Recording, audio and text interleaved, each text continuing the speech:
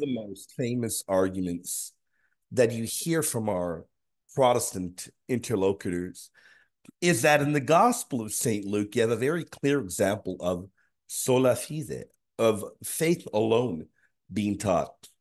The thief on the cross had no true chance to live out a life of repentance, never had the chance to really be baptized, to really truly confess the Lord and live a life of devotion to Christ. Thus, he merely confessed faith in Christ and he was given salvation. Really, they say this is the heart of the message of sola fide, of faith alone. You believe in Christ and you are saved. And thus, just as the Gospel of St. Luke says, he would be with Christ in paradise. And that really is the heart of the gospel, we're told. And it really is a passage that gets brought up very often. And at times, Catholics get a little bit tripped up. Uh, you hear various responses, and a lot of the times they're good. But a lot of the times they fall a little short. For instance, you will hear a Catholic saying, well, look, you know, he didn't have the opportunity to really be baptized. You know, he didn't have the opportunity to live that life of that walk with Christ that that justification you get in Christ and that growing in sanctification and justification with the Lord. He didn't have the opportunity for any of that. So this is simply an exception, but an exception does not make the rule. And a lot of the times when we hear that, a lot of those things are true. They really are true. But I think really we really get to the heart of the issue of what is going on in the Gospel of St. Luke? What is going on in the Gospels with the thief on the cross that confesses Christ? And if we really look at what is going on here, I think if we actually look at the language, we look at the text, we realize that rather than support the doctrine of faith alone, it really doesn't at all. Rather, supports the ancient Catholic teaching but then you may be wondering, well, what ancient Catholic teaching are you talking about, William? Well, if you look at Luke 23, which we're going to do now, and we're going to break it down, it begins with one of the criminals who were hanged there was hurling abuse at him, Christ, saying, Are you not the Christ? Save yourself and us. But the other responded, rebuking him, and said, Do you not even fear God? Since you are under the same sentence of condemnation. And we indeed are suffering justly, for we are receiving what we deserve for our crimes. But this man has done nothing wrong. And he was saying, Jesus, remember me when you come into your kingdom. And he said to him, Truly I say to you, today you will be with me in paradise. So, a number of very important things we've got to break down here. Number one, there is one criminal who is clearly diabolical, evil, mocking the Christ, as was predicted in the in the book of wisdom. But the other one rebukes the diabolical one and tells him, Do you not even fear God? Now that is incredible. At times we tend to gloss over this. And people tend to think, well, is he referring to fearing God the Father? Is what is he referring to here? No, it seems very clearly that he's confessing the Christ to be God. Do you not even fear God? Since you're under the same condemnation, that is significant. You're under the same sentence of condemnation, yet you're mocking God here. He seems to be filled with some incredible wisdom. And we indeed are suffering justly, for we receiving what we deserve for our crimes. But this man has done nothing wrong. Incredible. So he knows the Christ has done nothing wrong. He knows the Christ is God. He confesses the Christ and he fears God, which is indicative of everything in the text. He fears God. And he was saying, Jesus, remember me when you come into your kingdom. That is the key he recognizes that the Christ will have a kingdom, but it will not be an earthly one. He knows that it's a heavenly kingdom. He's filled with this incredible wisdom, which shows us he had knowledge prior. It doesn't matter if it was if it was at that exact moment or a day or a week or whatever before. That doesn't matter. The fact of the matter is he knows that he's the Christ. He knows he's God, and he fears God. Fear here is used as a verb. He fears God. There's nothing here, nothing even remotely resembling faith alone. Jesus, remember me when you come into your kingdom. The Son of Man has a kingdom. Almighty God has a kingdom in heaven. And he knows that this is Almighty God who has a kingdom in heaven and uh, Almighty God on the cross. He tells him, You don't even fear God. You're under the same sentence of condemnation. Well, God on the cross is under a sentence of condemnation. He's confessing him to be God. This is not merely faith alone. You may say, well, faith alone, part of that is confessing him to be merely God, well, to be uh, incredible God. Well, he, he has fear of the of the Lord as well. He has fear of God. He confesses him to be God, but he also has fear of God. And we'll read in a moment. By the way, fear of God is used as a verb here, but we're going to look in a moment, which is very important. And of course, fear will be used as a verb here, of course. Don't want somebody to come back and say, well, of course, William, we recognize that. We're just trying to bring out the nuances of the text. And he was saying, Jesus, remember me when you come into your kingdom.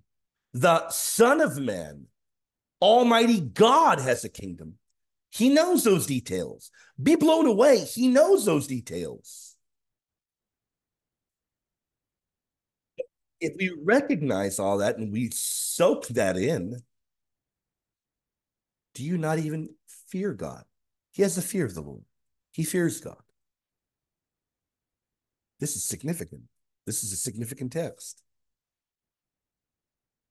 But what does the Bible tell us about fear of the Lord? In, in a Greek standard, Danker's Greek New Testament lexicon, for Luke 23 40 in particular, the Greek word for fear, the Greek word for fear, phabe here, the Greek word phobeo, to have deep respect for human or for God as the highest entity.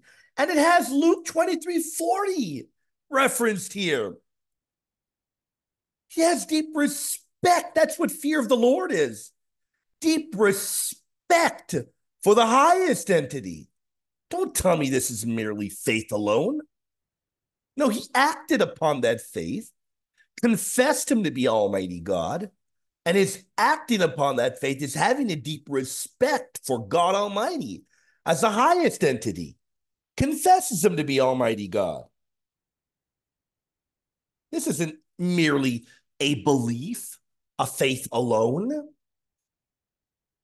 or a confession alone. No, he doesn't only confess him as Almighty God, he has fear of the Lord. He has fear of God. That's very clear from the text as we break it down. That's very clear.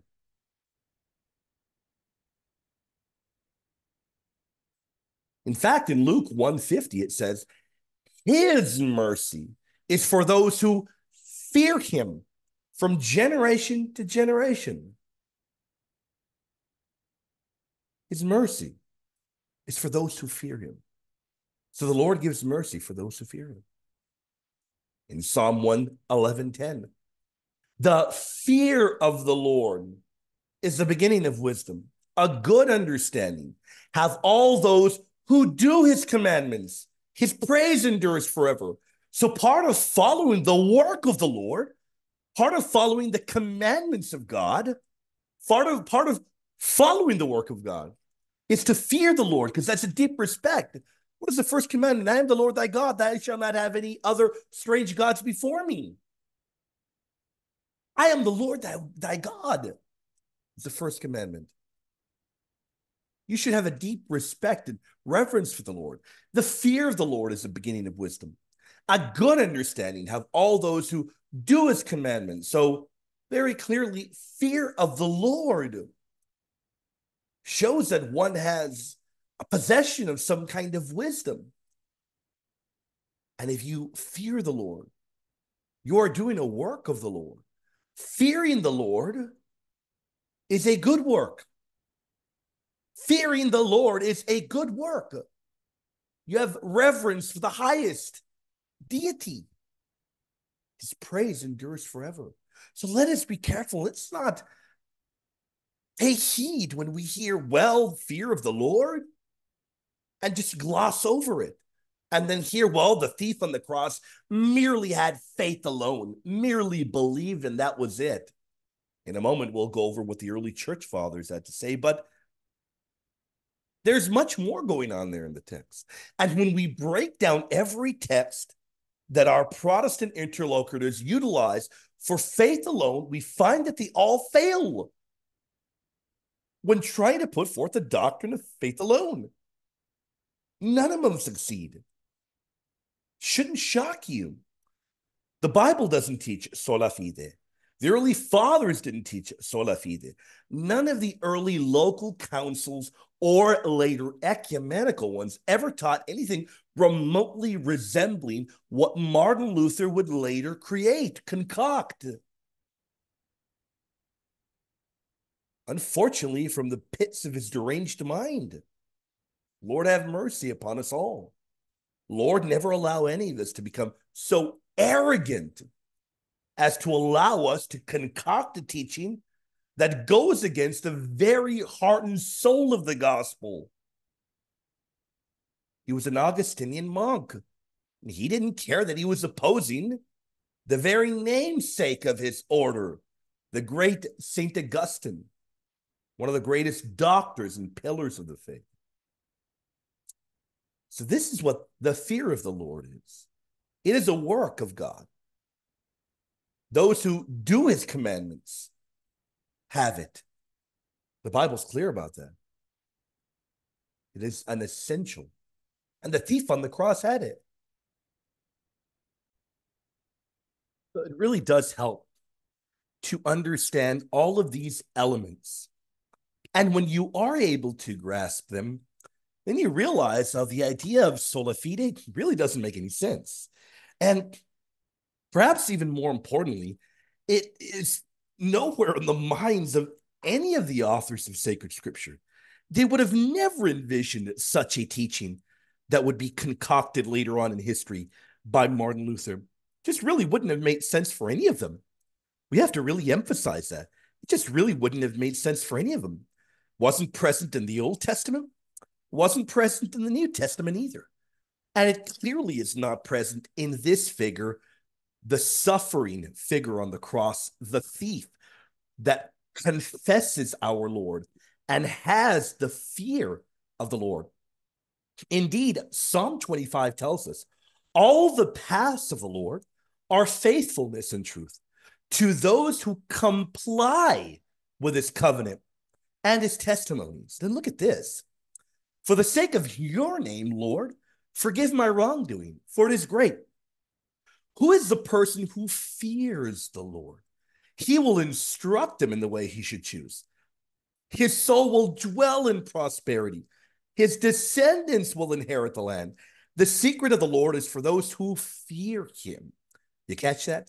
Those who fear the Lord, they have the secret of the Lord, and he will make them know his covenant. So it's very clear when you read of one possessing the fear of the Lord, it's not faith alone. It's much more than that. Now, do we mean that he was baptized in the normal manner and walked a full life of, uh, with Christ? Not at all. We're not saying that. But we're showing that the thief on the cross did not possess faith alone, according to the way it was laid out by the reformers. And we will see how the belief of the thief on the cross is diametrically opposed. The interpretation of the thief on the cross and his faith and his fear of the Lord, the reformer's interpretation is diametrically opposed to that of the clear testimony of the scriptures and the very clear testimony of sacred tradition in the early fathers. He will make them know his covenant. My eyes are continually toward the Lord.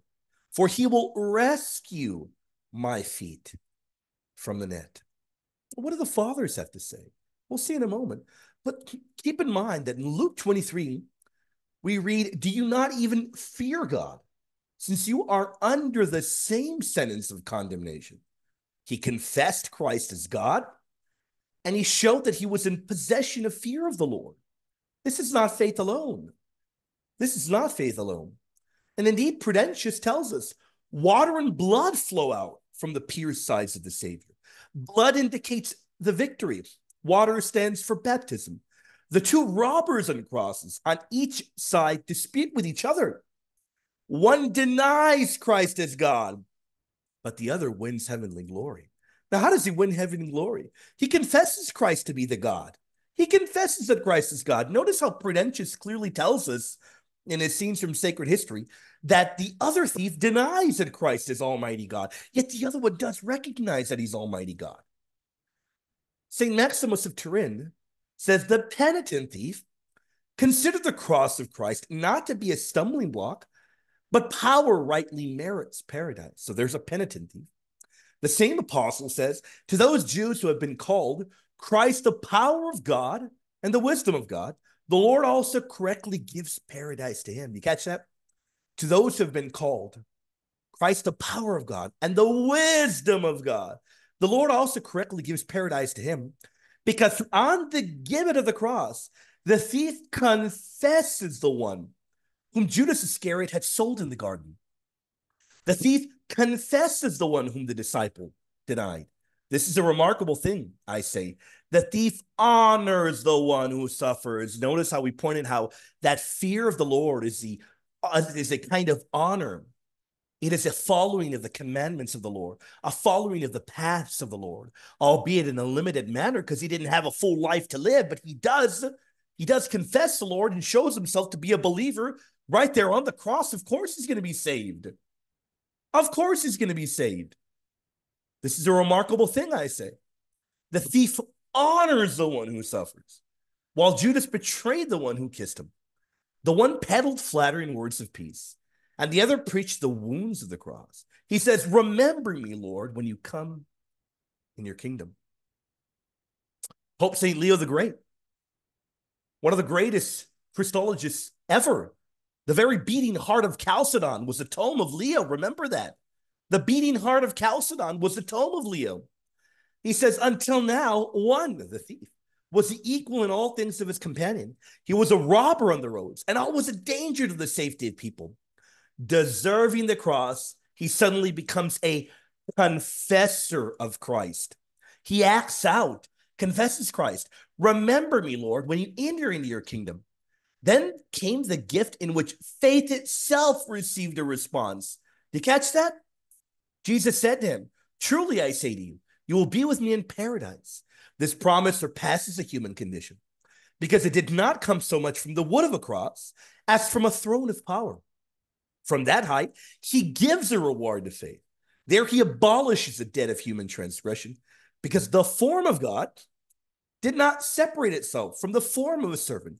Even in the middle of this punishment, both the inviolable divinity and the suffering human nature preserved its own character and its own oneness. You're not going to get better theology.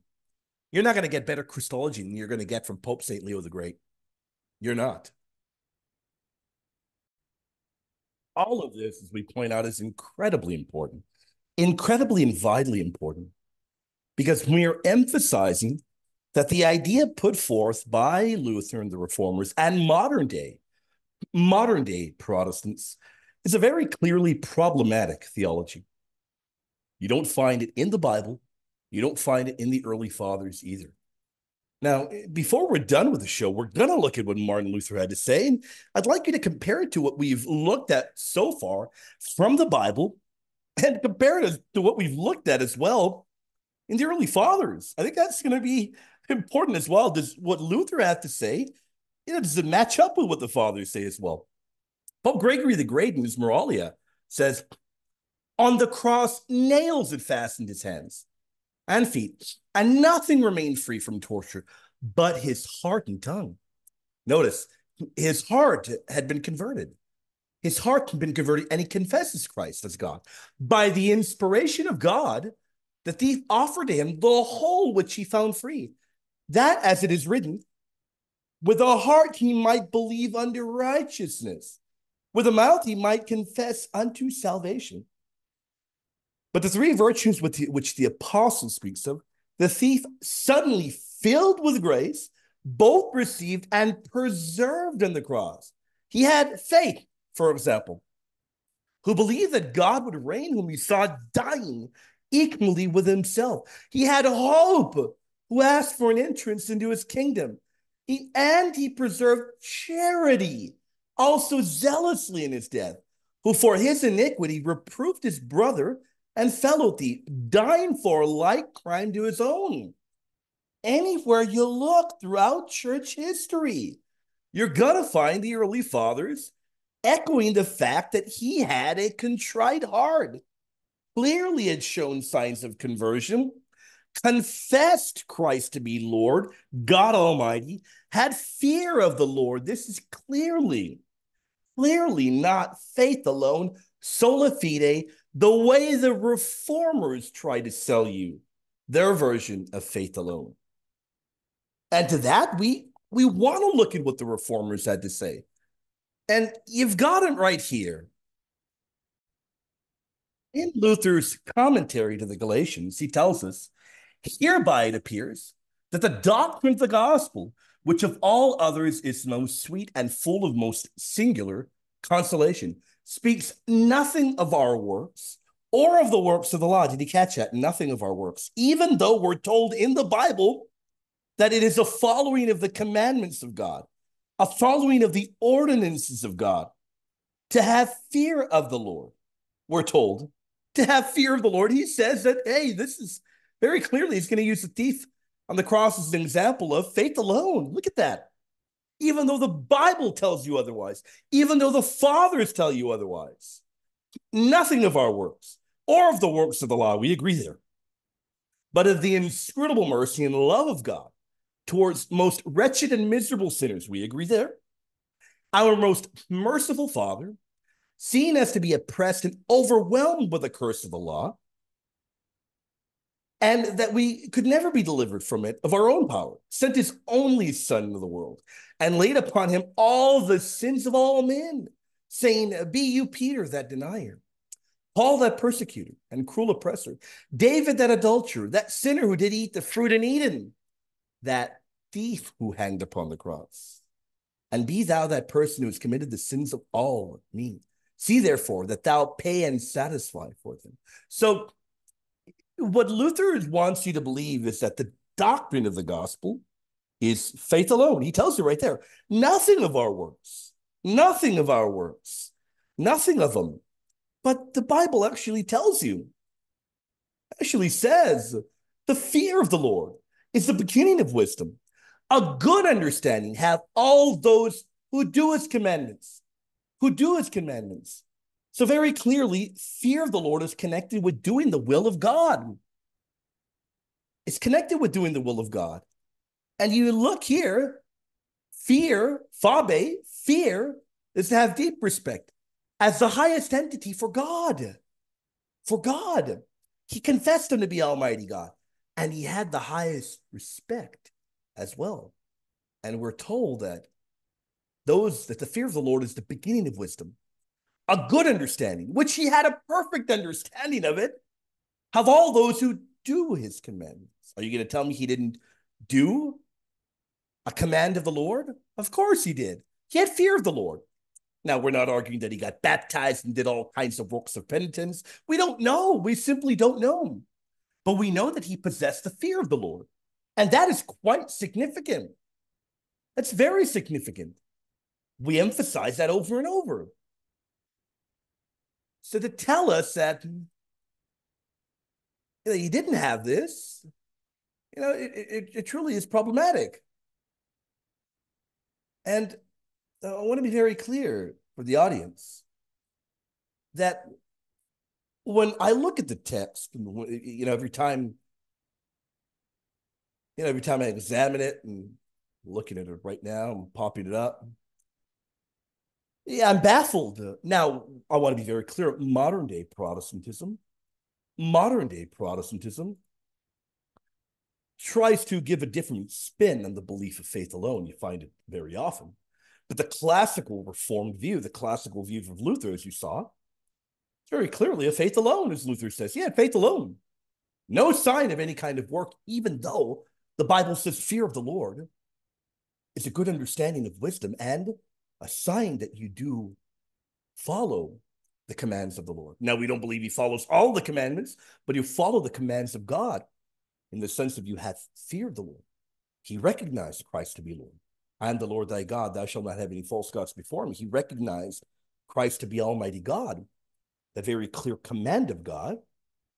He had a good grasp of. By the way, that thief on the cross classically has been understood to be Saint Dismas, who was the thief that was repentant, the one who the Lord said, Today you'll be with me in paradise. Now, for some that say, Well, you know, what about purgatory? What have you? We don't know if he underwent an instantaneous purification. We know nothing else about him. Other than there, what we read, we don't know. We don't know anything. But to claim that the faith alone is taught here uh, is pretty, pretty wild. I got to be very clear. You know nothing, nothing about anything about him other than he had fear of the Lord. He knew Christ was Almighty God. That is incredible. Very, very incredible. Now, does it give us indication that maybe he had been following the ministry of Christ? Maybe he had some kind of catechesis, as would have been said by St. Cyril of Jerusalem in his mystagogical lectures, noting that some people did have certain levels of catechesis. It's possible. How else would he have known that Christ was Almighty God, had a kingdom that wasn't of this earth, and had fear of the Lord? To think that he would have not known any of that really does make much of the text. It makes much, much of it. But it doesn't fit in with faith alone, I'll tell you that much. He had much more than simply faith alone.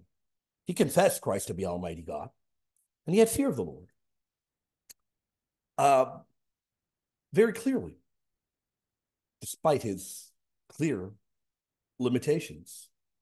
Now, all of this is important because I emphasize over and over how modern day Protestantism continues to move further and further away, not only from apostolic Christianity, but even move further and further away from the faith of the reformers. You know, the early reformers believed certain things that modern day Protestants don't believe. And that's a problem for modern day Protestants. I'll tell you that right now. But another thing that I'll tell you is that we're going to be doing more of these videos like this, where I'm going to try to stick to about 30 to 40 minutes. You get to the heart of the matter. We'll look at the text, exegete it grammatically. We'll look at the Greek or Hebrew when relevant.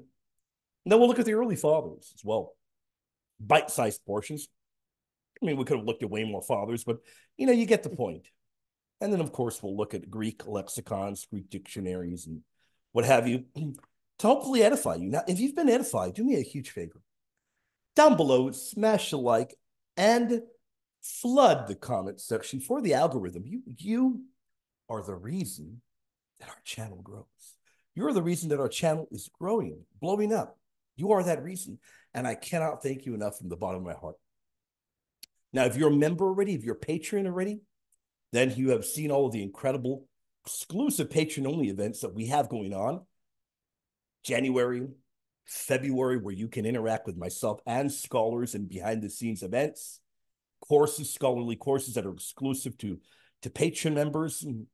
Uh, so consider becoming a supporter in whatever way you can, if you are able to. But above all, remember to pray for me and remember that I will be praying for you. And if you've enjoyed the show today, if you've enjoyed it, if you're a Protestant, maybe you don't fully agree, but you enjoyed the show, or if you are a convert, or if you are a Catholic and you love the show, let me know down below what you thought of the show. Were you edified? Were you filled with the joy and the love that can only be found through our Lord and Savior Christ, through our triune God? Hope you were. And I hope to see you again soon. God bless you. God keep you. Pray for me. Be praying for you.